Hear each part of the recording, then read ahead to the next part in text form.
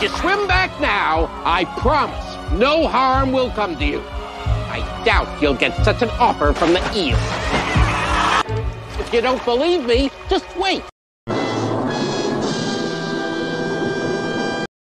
She doesn't get eaten by the eels at this time. What? Doesn't get her. I'm explaining to you because you look nervous. I was nervous. Well, maybe I was a little bit concerned, but that's not the same thing. I don't swim.